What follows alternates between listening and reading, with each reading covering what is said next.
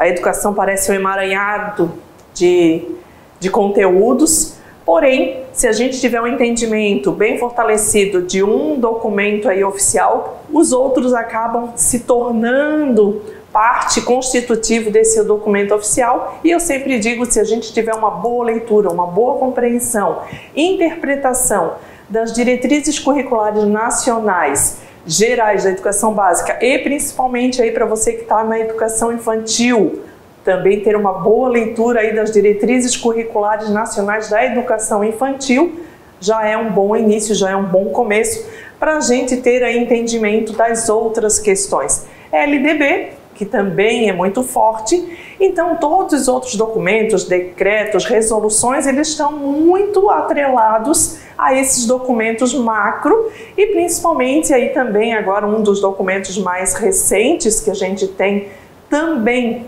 de orientações e diretrizes para a constituição do currículo, para a constituição do PPP, para a constituição do nosso planejamento e de uma banca é a Base Nacional Comum Curricular principalmente aí como que se organiza a educação infantil e quais são os preceitos fundamentais da educação infantil. Interações e brincadeiras, eixos norteadores aí da educação infantil. Dentro dessa organização, quais são as faixas etárias que a gente tem aí na educação infantil? Primeira faixa etária, bebês. Segundo grupo etário, não é faixa etária, é grupo etário. Se a gente tem os bebês de zero a um ano e seis meses, depois eu tenho as crianças bem pequenas, que começa lá no ano e sete meses até três anos e onze meses. E depois o grupo pré-escolar, que compreende as crianças de 4 a 5 anos e 11 meses. Então, esses são os grupos etários aí conforme a organização da BNCC e também nós temos aí os campos de experiência e os direitos de aprendizagem. São seis os direitos de aprendizagem e são cinco.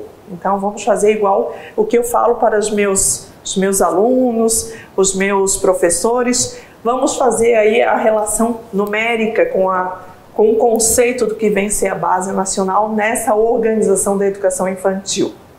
Então são seis os direitos, sempre e esses direitos eles estão também atrelados às dez competências gerais da educação, então, essas 10 competências, e a banca tem trago muito isso ultimamente, a banca FEPESE, ela tem relacionado muito a base com as suas organizações, então tem caído muito base e também tem caído muito as diretrizes curriculares nacionais.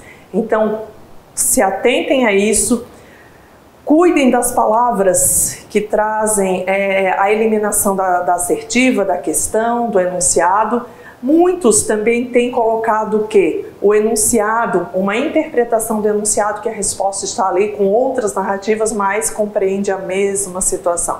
São essas as dicas que a gente dá para vocês terem esse entendimento. Dentro desses seis direitos, dentro dos cinco campos de experiência, eu tenho aí os objetivos de aprendizagem que todo documento, toda organização da educação é sempre oferecendo o quê? Oferecendo o ensino e aprendizagem.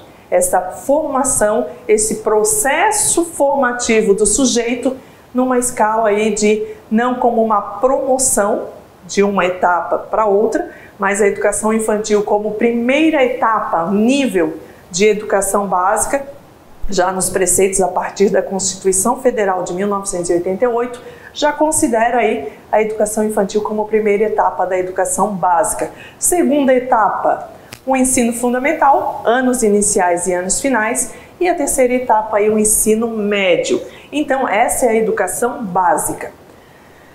A educação escolar, aí eu tenho a formada pela educação básica e pelo ensino superior. Essa é a educação escolar. Educação básica então tem muitas pegadinhas também. Fica aí a dica de prestar atenção nesse enunciado, que nesse momento que vocês estão ali resolvendo, acabam não se percebendo do que está escrito e acabam equivocadamente registrando aí uma opção de resposta equivocada pela leitura dinâmica nesse momento de enfrentamento entre tempo e resolução das questões.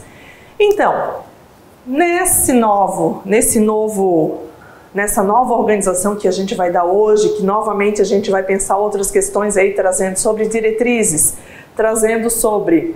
É, nós vamos trazer sobre diretrizes curriculares nacionais da educação infantil, nós vamos trazer aí sobre é, as diretrizes curriculares da educação básica, a gente vai trazer também aí a Base Nacional Comum Curricular, que cai muito, está muito atrelada aí à banca FEPES, tem trago muitas questões.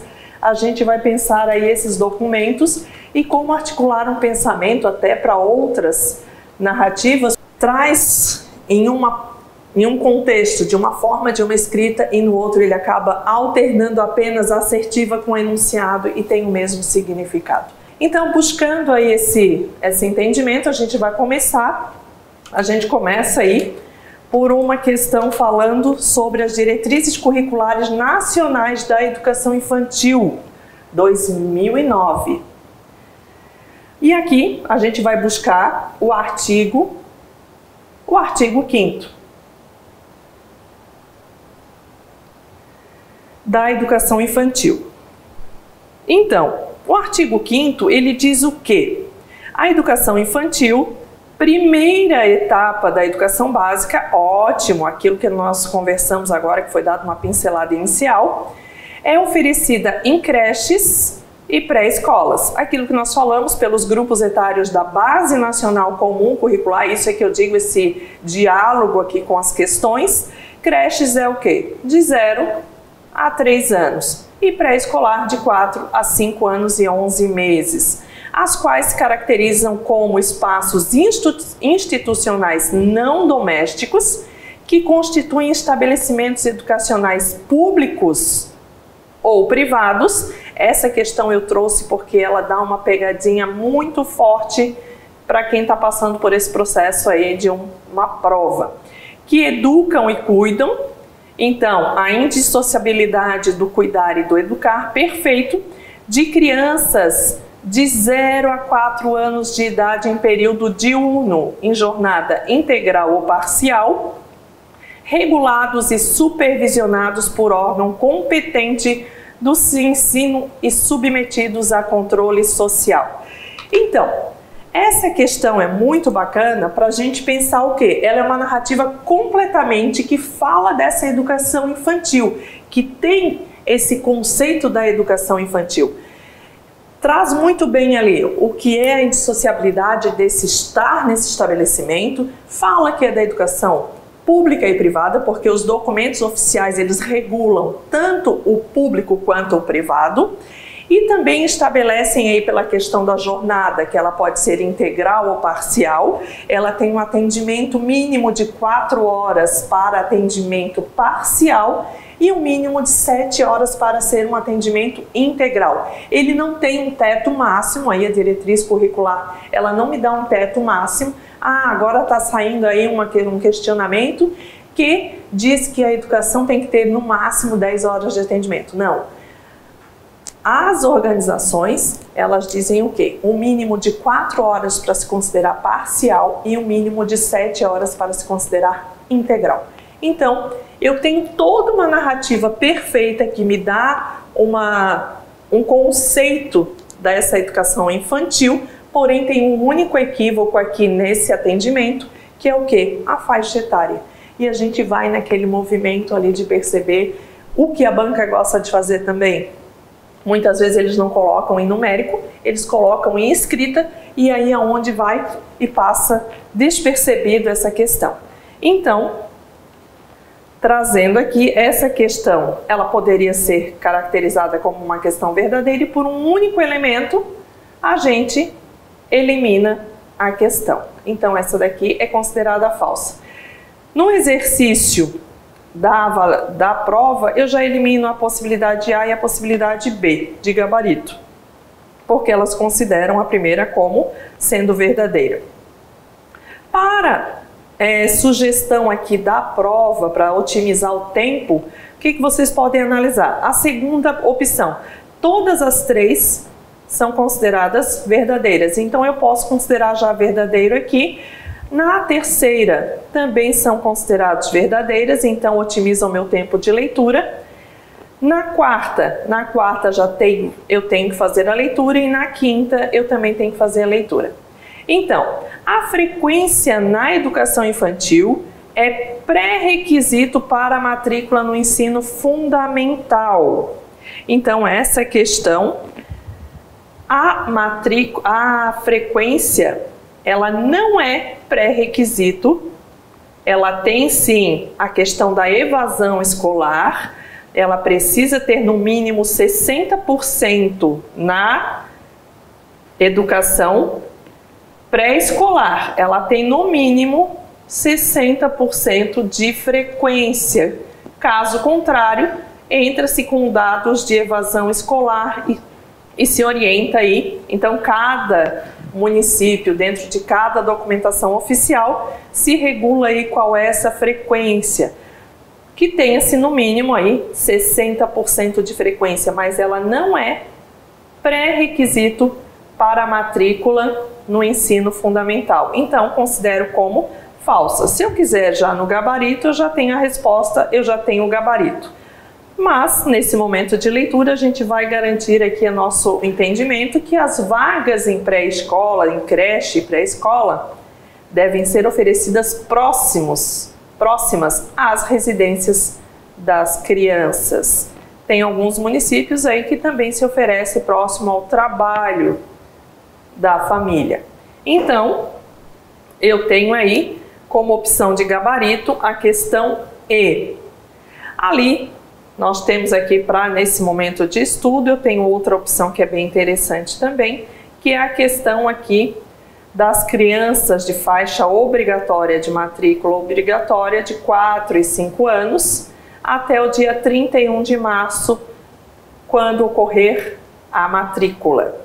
E é dever, sim, do Estado garantir a oferta de educação infantil pública, gratuita e de qualidade, sem requisito de seleção. Quando eu falo para vocês, cuidem do que é ofertado na realidade e aquilo que está na prova, ah, mas lá no meu município tem um requisito de seleção que precisa estar enquadrado nisso, naquilo, mas é dever do Estado garantir essa oferta e sem, então prestem bem atenção, sem o requisito de seleção. Porém, o poder público cria alguns, porque direito da criança estar matriculado nas instituições de educação. Então, ele não tem o requisito. Certo?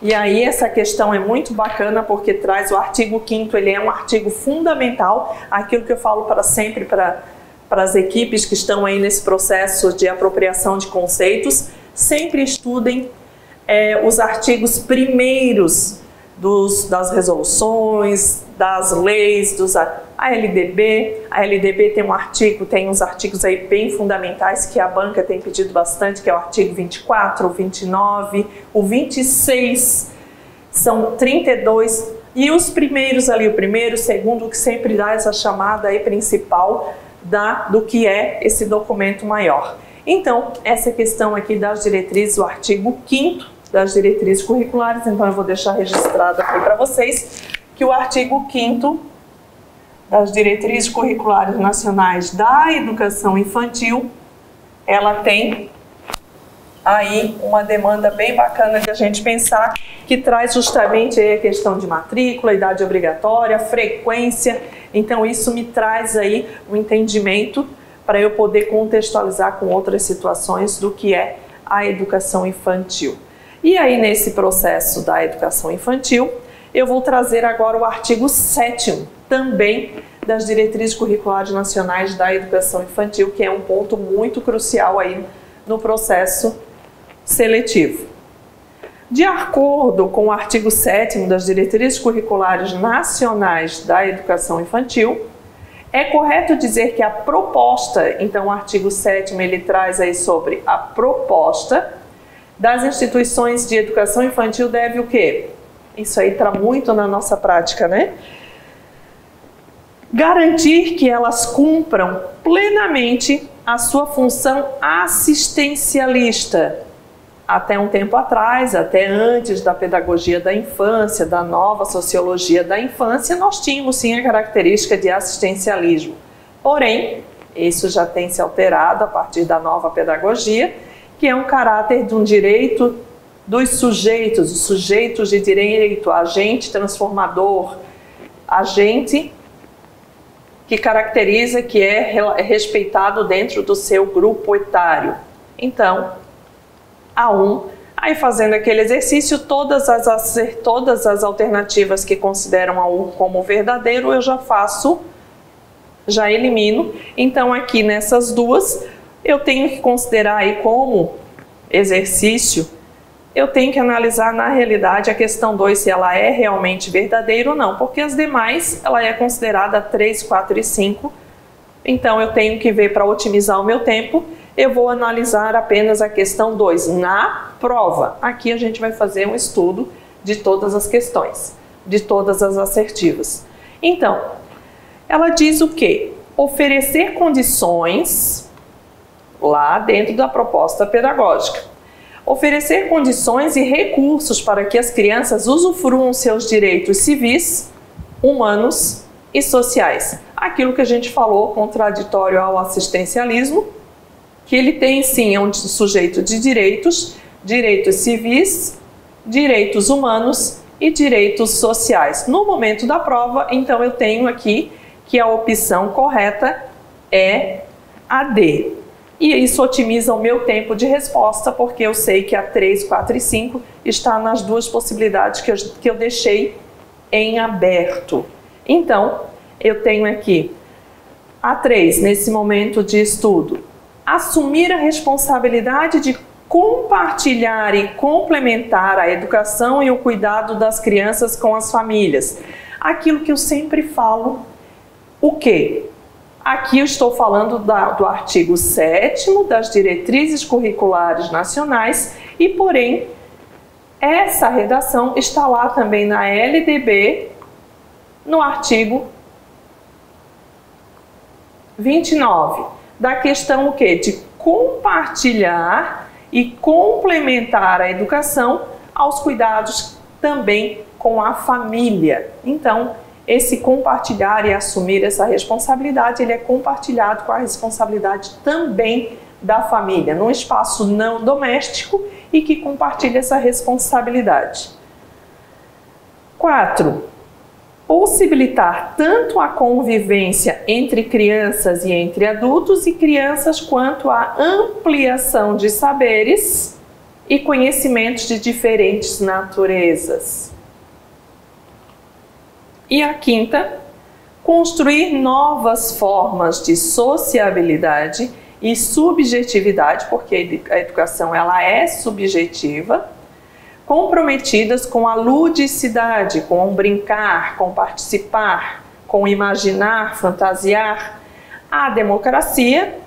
E aí eu entro nesse diálogo com a questão quando eu digo que a democracia está atrelada aos princípios norteadores da educação, quando ele, nós temos lá os princípios éticos, estéticos e políticos. E aí eu tenho aí a questão do ético na democracia, né? E a sustentabilidade do planeta, que está muito dentro das questões é a, essa inclusão também da sustentabilidade ambiental e com o rompimento de relações de dominação etária, socioeconômica, étnico-racial, de gênero, regional, linguística e religiosa. Então, a minha opção é a D, que são corretas as afirmativas 2, 3, 4 e 5. E aí nessa questão também se traz esse cuidado aí, então, para ver quando a gente otimiza o tempo é, na resposta, na resolução, na prova, é justamente pensar isso. Eu já eliminei uma, vou lá nas alternativas, elimino todas aquelas que estão pontuando aquela questão como sendo correta. Cuidado que aqui ele está perguntando as corretas e muito a banca tem feito isso alternando entre incorreta e correta. Então, nessa questão aqui, as afirmativas corretas. E aí eu consegui aí numa otimização de tempo que eu tinha uma questão apenas para eu ler, para eu poder reafirmar aí qual era o meu gabarito. E nisso a gente consegue compreender e otimizar o tempo. Então, é esse também do artigo 7 o artigo 5 e o artigo 7 também das diretrizes curriculares nacionais, que vai trabalhar aí sobre proposta, que busca aí esse, esse encontro da diversidade, da formação, dos direitos civis e humanos, dos direitos de humanidade, de sociedade e desse sujeito aí, quando a gente fala sujeito, a gente caracteriza aí que é um ser de direitos, que compreende e que se respeita esse grupo etário, essa passagem etária aí, como sendo um sujeito mesmo, uma pessoa que garante os seus processos de aprendizagem. E aí eu vou trazer novamente uma questão agora da educação das diretrizes curriculares nacionais gerais da educação básica. Então aqui nessa questão a gente vai trazer a educação básica. E as diretrizes curriculares gerais para a educação básica devem presidir as demais diretrizes curriculares, aquilo que a gente vem falando aí. Primeiro vem a geral, depois eu tenho as diretrizes curriculares nacionais da educação infantil e eu tenho do ensino fundamental. Então, ela deve presidir, ela é a base dos outros documentos que se fortalecem na redação já descrita nesse documento maior. Para as etapas e modalidades. Então, aqui eu não posso esquecer que são etapas e modalidades, contemplando o conceito de educação básica, princípios de organicidade, sequencialidade e articulação entre as etapas e modalidades. Cuidem que a banca também tem pego bastante essa troca aqui de etapas e modalidades, é, apresentando nas suas assertivas, trocando que ah, eu tenho a etapa educação especial e não é educação especial, ela é uma modalidade. As etapas eu tenho três da educação básica. Então, aqui eu considero como verdadeiro. Lá no exercício, todas, para eu, se eu quisesse otimizar o tempo, todas as questões já consideram a A como verdadeira. Poderia otimizar o meu tempo. A B tem uma aqui ainda que é falsa. A C, a terceira lacuna, também tem alternância e a última eu também tenho alternância. Então, a segunda, um segundo parênteses diz o quê? O papel do Estado na garantia do direito à educação de qualidade, considerando que a educação, enquanto direito inalienável de todos, inalienável, cuide que essa palavra também tem se apresentado de uma escrita diferente, é condição primeira para o exercício pleno dos direitos humanos, tanto dos direitos sociais e econômicos, quanto dos direitos civis e políticos. Na questão anterior, a gente havia visto diretrizes curriculares da educação infantil. E aqui, por quê? Também falava dos direitos civis, dos direitos humanos e dos direitos sociais. E aqui na educação um documento que serviu, presidiu o documento da educação infantil e está aqui já posto no documento geral da educação básica. Então, verdadeiro. Única que eu posso eliminar é a questão E. As demais verdadeiras, aqui eu tenho duas falsas e duas verdadeiras, então eu tenho que fazer a leitura obrigatória no momento da prova. Na terceira opção, a educação básica, como direito e considerada contextualizadamente em um projeto de nação, em consonância com os acontecimentos e suas determinações histórico-sociais e políticas no mundo, deve propiciar aos estudantes um ambiente de aprendizagem favorável à aquisição dos conhecimentos de maneira cartesiana. E aí, eu trago esse processo cartesiano como metódico. E pelo contrário, a aprendizagem ela precisa acontecer de modo é, estratégico, com recursos diferenciados, que eu consiga efetivar sim, que seja uma aprendizagem, que aconteça a aprendizagem e não tem um método único engessado. Então a banca adora também colocar essa palavrinha aí nos seus, nos seus, nas suas assertivas e nos seus enunciados. Então, falsa. Eu tenho então, já risquei aqui a opção A e a opção B. Eu fiquei apenas com a questão C e a D, e aqui eu ainda tenho uma diferenciação da resposta. E eu vou verificar a última assertiva. A dimensão articuladora da integração das diretrizes curriculares, compondo-se, compondo as três etapas e as modalidades da educação básica, é fundamentada na indissociabilidade dos conceitos referenciais de ensinar e educar.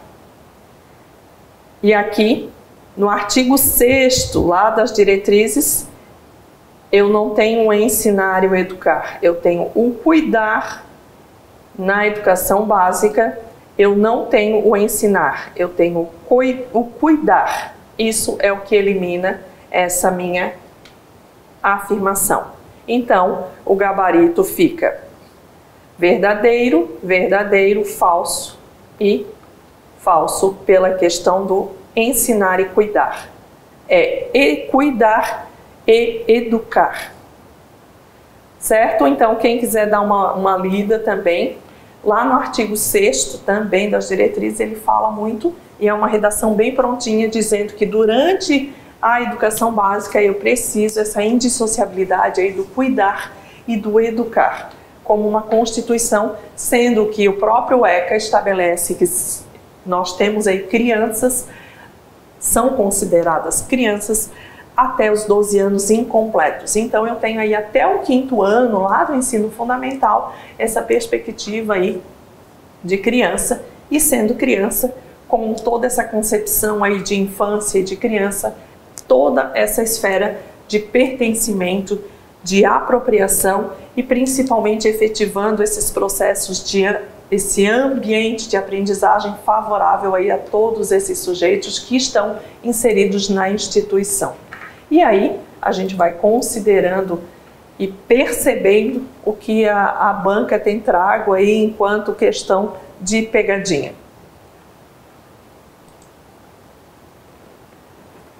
E buscando aí a resolução, trazendo a base nacional comum curricular, eu trago algumas questões de pensar que documento é esse. Então, a possibilidade A é o que? A resolução do Conselho Nacional de Educação número 2 de 22 de 12 de 2017 e seu anexo instituem a Base Nacional Comum Curricular 2018 como um documento de caráter, aqui ficou separado, mas é tudo juntinho, normativo, então isso aqui tem que ficar bem, é normativo.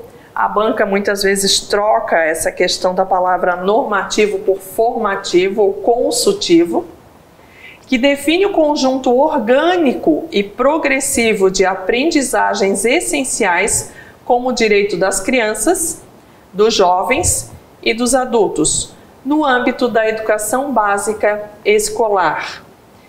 E orientam sua implementação pelos sistemas de ensino das diferentes instâncias federativas, bem como pelas instituições ou redes escolares Aqui muitas vezes eles têm colocado também as redes públicas e privadas, ou somente a rede pública. E não, ele é um documento norteador das instituições e redes escolares, todas públicas e privadas. Como ele é um documento normativo, que, no entanto, todas as instituições, todos os municípios, os estados precisaram é, refazer, implementar os seus documentos, os seus currículos, as suas propostas curriculares, para pensar aí esse documento que a partir de 2020 ele foi já tinha precisava estar organizado os seus documentos, implementado os seus documentos. Então, a primeira questão, ela é verdadeira. Pensando aqui, eu já finalizo a opção D e E. A segunda opção eu tenho alternância e a terceira também. Então eu vou precisar da leitura.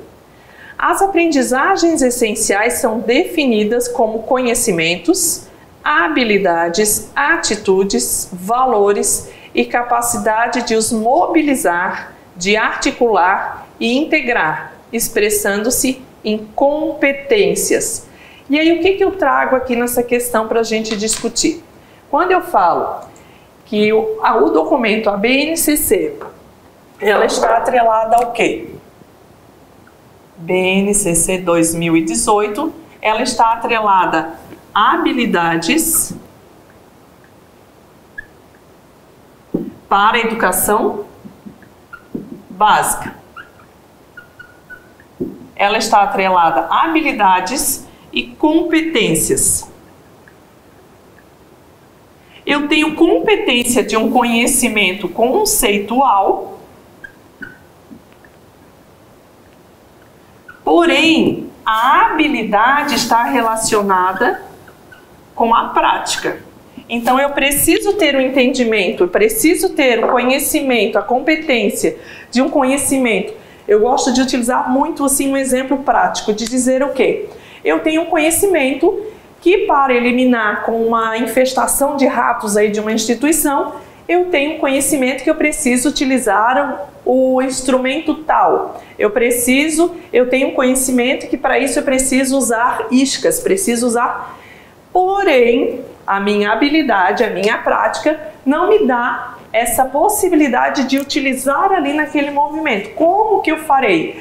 É aquelas perguntinhas que a gente sempre viu desde a época lá do magistério, como, por quê, para quê e onde.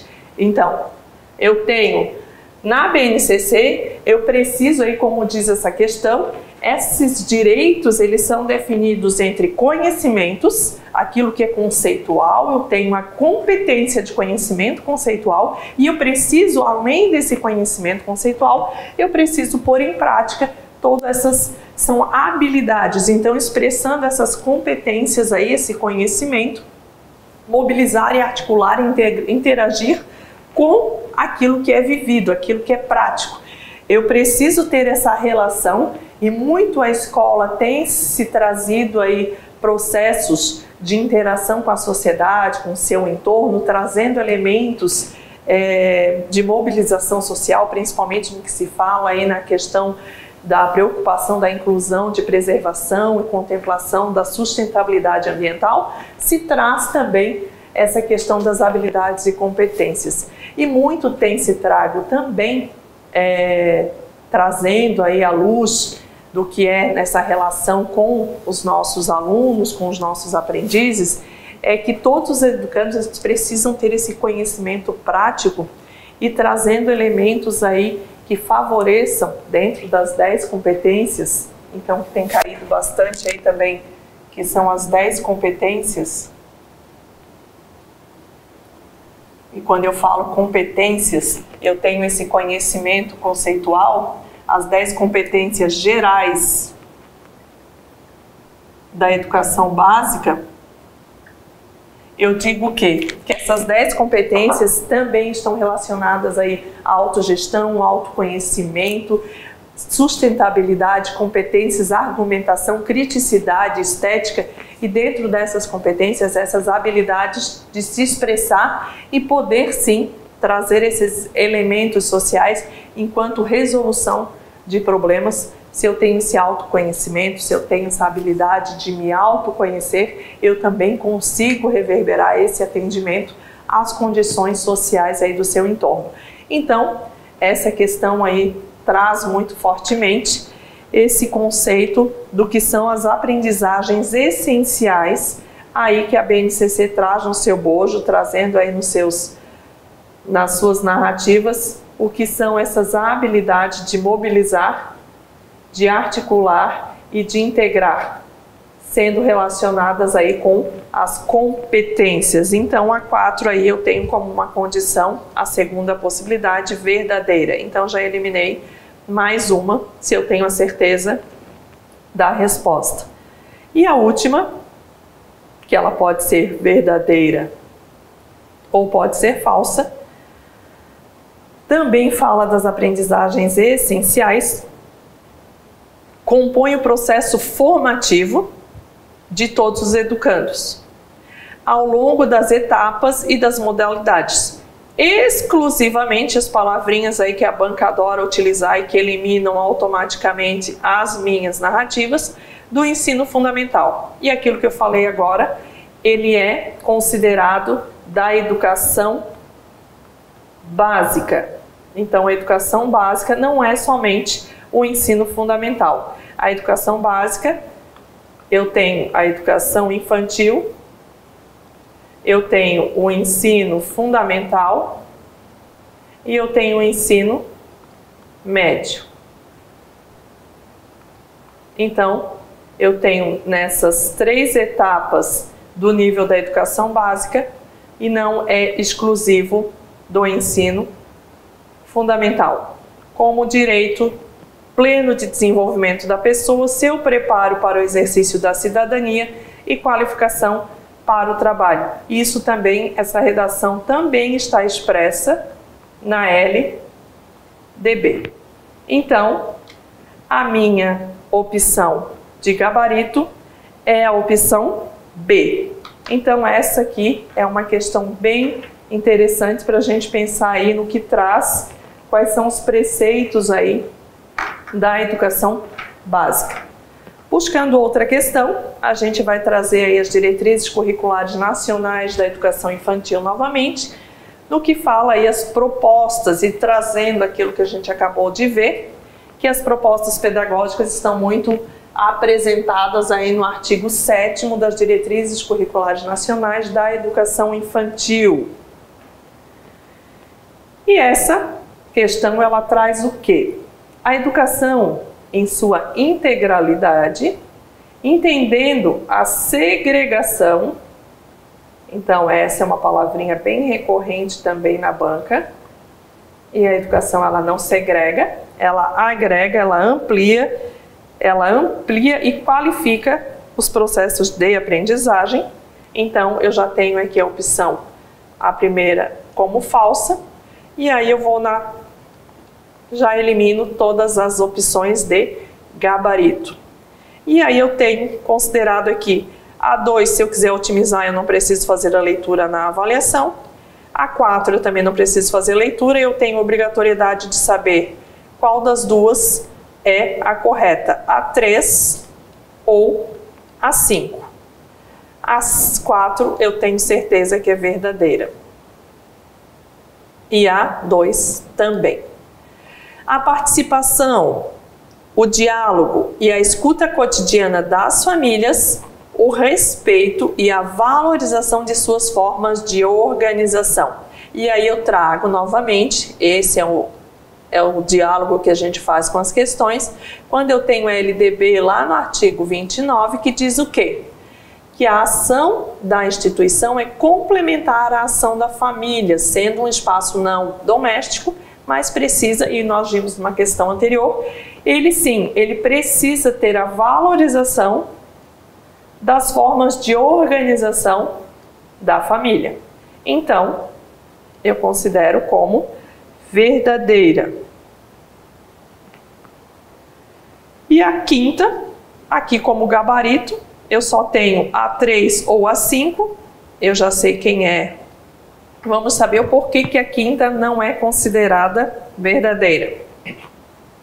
A acessibilidade de espaços, de materiais, de objetos, de brinquedos, instruções, exclusivos para as crianças com necessidades educacionais especiais.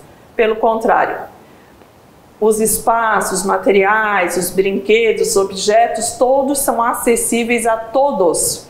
A gente tem na LDB também trazendo aí, então a gente está aqui no enunciado das diretrizes curriculares, mas está fazendo uma ligação e fazendo a, a, a redação, trazendo a redação que também está imposta lá na LDB, quando ele diz o quê? Que a educação é um espaço de, de subjetividades e acesso e qualidade de educação para todos, sem distinção de gênero, classe econômica.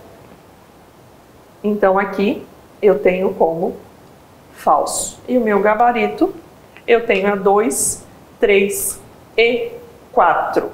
E aí nós temos aí mais uma questão de pensar aí o que a redação traz e como vocês viram, numa única questão, eles trouxeram duas palavras que já eliminam a segregação e o exclusivo.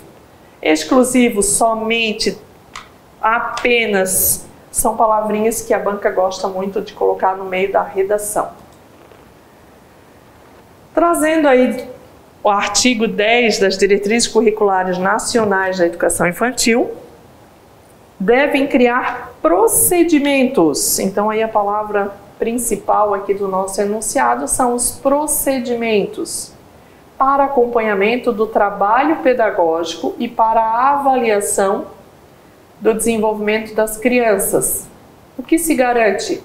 Quais são os procedimentos, as estratégias, os recursos que, que darão percepção e darão encontro aí da avaliação do desenvolvimento das crianças. Então eu tenho a número 1, um, que diz o quê? Uma observação crítica e criativa das atividades, das brincadeiras e interações das crianças no cotidiano. 2. Então eu considero ainda como verdadeira, até eu poderia ter feito a análise das opções de gabarito, tinha uma questão apenas que não considerava a 1. A 2 também tem.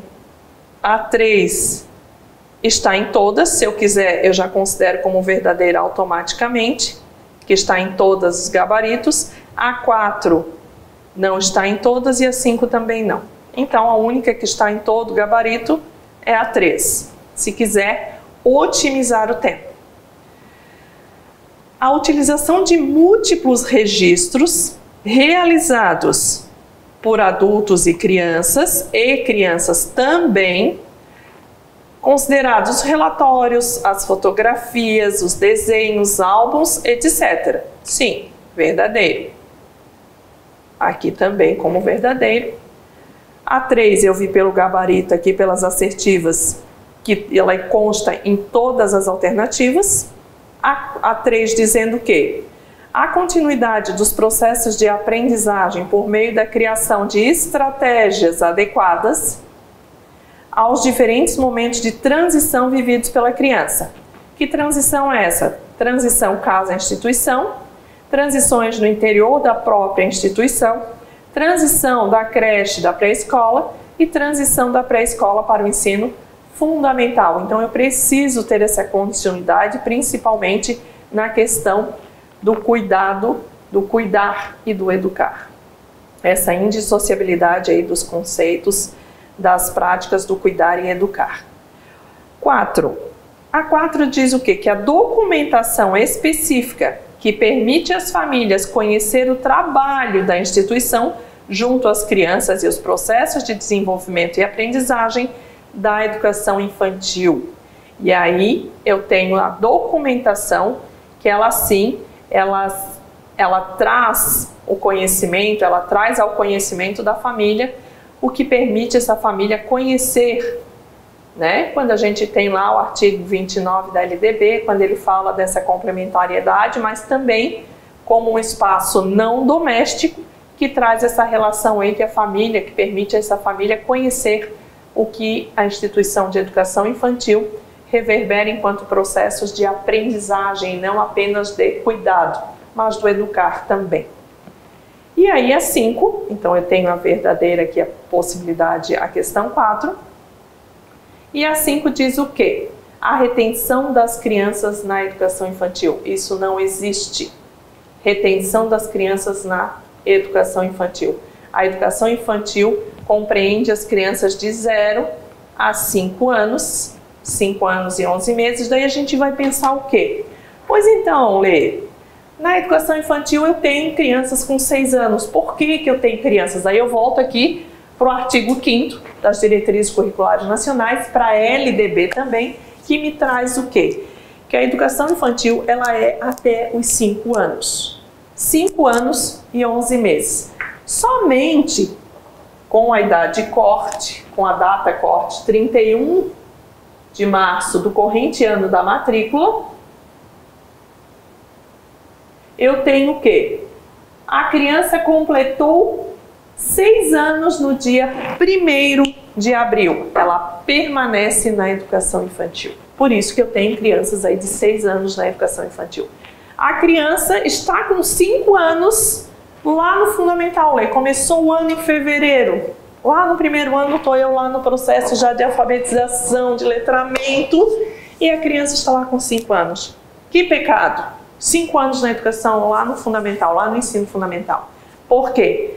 Porque até o dia 31 de março do ano da matrícula, ela vai completar seis anos. Então, abril ela já tem seis anos. Esse é o que a gente chama de data corte, que é a data. E ele, ah, mas aqui no município funciona, as escolas particulares, elas aceitam. Não.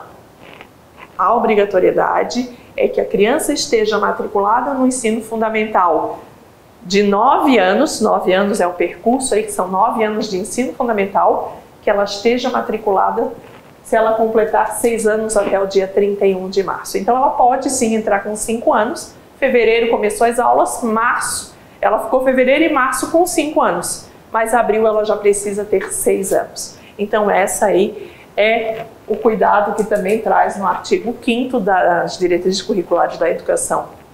Também consta lá no, nas diretrizes curriculares do ensino fundamental de 9 anos, que a criança com 6 anos ela precisa estar no ensino fundamental.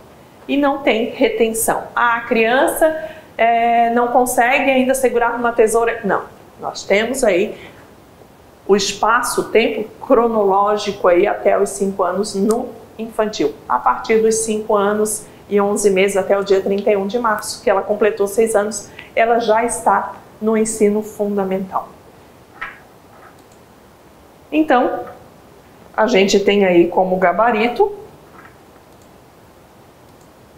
eu tenho então as afirmativas 1, 2, 3 e 4 sendo verdadeiras, e a quinta ela não é verdadeira pela questão da retenção aí das crianças da educação infantil e eu não tenho retenção, eu não tenho requisito para não tenho processos de promoção para o ensino fundamental, essa transição da creche, da pré-escola para o ensino fundamental, eu não tenho retenção e eu não tenho processo requisito para, como a gente viu na questão aí anterior, sobre é, até pela frequência, também não é requisito para a transição aí para o ensino fundamental.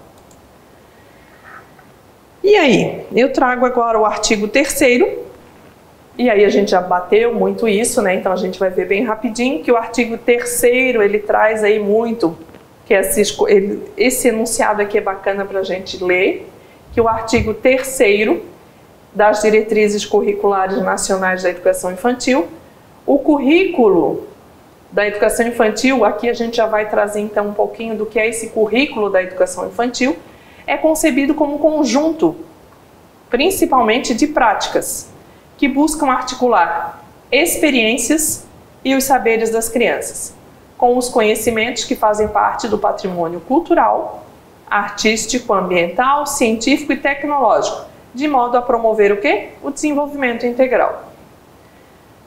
Das crianças de qual faixa etária? 0 a 4, 0 a 5, 0 a 7, 3 a 5 ou 3 a 6. Aqui ele fala da educação infantil. Ele não está falando pré-escolar, ele não está falando creche. Então, se ele está falando de educação infantil, eu tenho das crianças de 0 a 5 anos de idade, não são de 0 a 6. A própria LDB, ele já traz de 0 a 5. Tem alguns enunciados, quando ele, ele traz o Plano Nacional de Educação, que ele está ainda trazendo de 0 a 6, mas aí é o enunciado que está se apresentando e quando está vinculado ao Plano Nacional de Educação, na vigência do Plano 2014-2024. Só para relembrar que é um plano decenal que tem 20 é, estratégia, 20 critérios e eu tenho aí 256 estratégias de aprendizagem e também tenho aí é, as diretrizes do Plano Nacional de Educação. Considerando aí as afirmativas abaixo, a gente vai ver quais são consideradas verdadeiras e quais são consideradas falsas. O conceito de documentação pedagógica. Qual é o conceito que eu tenho aí de documentação pedagógica? Tem como foco a ideia de sistematização de percursos, elaboração das experiências e comunicação, relatos de situações, aquilo que foi vivido, fotografias que comprovam, que trazem à luz dessas interações, dessas relações e desses percursos, produções das próprias crianças constituem material para documentação, que implica seleção, organização e elaboração de registros. E na questão anterior a gente viu ali sim é, que todo, toda a relação adulto, adulto, adulto, criança, criança, criança, transição da educação, é, transição família, educação, é, instituição, transição creche para escola, transição para escola fundamental, transição, todos esses aspectos implicam sim nessa seleção e nessa organização aqui da documentação pedagógica que traz muito dessa criança. Então, essa questão aqui é bem verdadeira quando ele traz que a documentação tem todo esse foco nessa ideia de sistematização, de contexto que traz aí as vivências, os relatos, as experiências das crianças. Lacuna, segunda lacuna, segunda assertiva, diz o quê? existem diferentes modalidades de documentação. Cada instituição, até mesmo numa mesma rede, aí de Chapecó, de São José, de Florianópolis, de Itajaí, numa mesma rede, muitas vezes há diferentes modalidades de documentação. A depender de quem? Dos objetivos, dos objetos, dos objetivos e dos destinatários a documentação pode incidir mais diretamente sobre a criança em seu processo de pensamento ou sobre o projeto pedagógico da escola. Sim, dependendo aí das modalidades, dependendo do objeto e do, do objetivo, eu tenho fortalecido aí por onde vai transitar, por onde vai caminhar essa documentação pedagógica. Pode falar mais sobre o projeto pedagógico e as relações das crianças, ou pode trazer mais os processos de pensamento, quando a gente fala muito da questão do, das avaliações da documentação é, individual das crianças, ou quando a gente traz aí mais amplo o projeto de, o projeto de percurso pedagógico da escola. Terceira afirmativa. A terceira afirmativa, ela diz o quê? Que os únicos, cuidado com a palavrinha, únicos também, responsáveis pela produção da documentação são os professores. E aí, a gente viu uma questão anterior que a gente fala também da questão das pessoas que transitam aí nesse espaço, todas as pessoas que transitam no espaço institucional são sim responsáveis. Aqui diz pela produção da documentação, ele não diz da escrita única, mas todos são responsáveis, gestores, administradores, pessoais, é, as pessoas no círculo, todos são responsáveis por esse processo da documentação. Então, não há uma única pessoa. A documentação implica em ações de organização e circulação de quem? Das informações, com vistas à socialização sempre dos saberes, dos processos de ensino-aprendizagem, das aprendizagens. Então, verdadeiro. A documentação, ela pode ser considerada praxis reflexiva sobre o projeto e sobre a vivência. Processo ligado à programação e à avaliação, à experiência, mas dotado de especificidade. Por que, que ele fala especificidade? Porque a educação infantil, ela tem, quando ela reverbera a questão de formação, processo formativo pleno do sujeito, eu tenho aí as especificidades que caracteriza as subjetividades de cada sujeito. Então, ele vai estar dotado aí, como a gente falou numa questão anterior aqui, no projeto pedagógico ou nos processos de pensamento da criança. Eu tenho aí as características, as especificidades desses sujeitos da educação.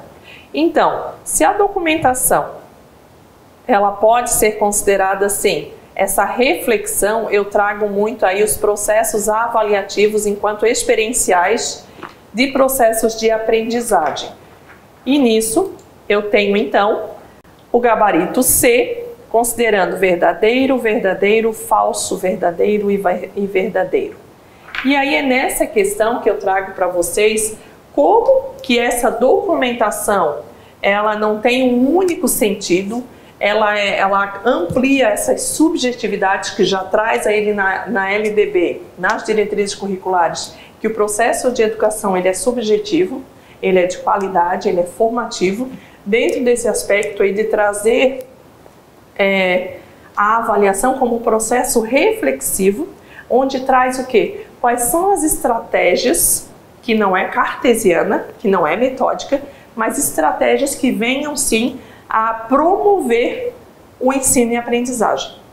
É, não é um único método que eu preciso considerar, como é considerado aí no ensino fundamental, a avaliação unicamente como prova, mas eu posso utilizar aí outras outros instrumentos que vão sim me caracterizar, compreender que esse processo avaliativo não é mais qualita não é mais quantitativo por notas, mas sim qualitativo no processo de apropriação do conhecimento. E isso traz aí também na educação infantil quando ele fala das especificidades. Quando eu tenho a experiência dotada de especificidades.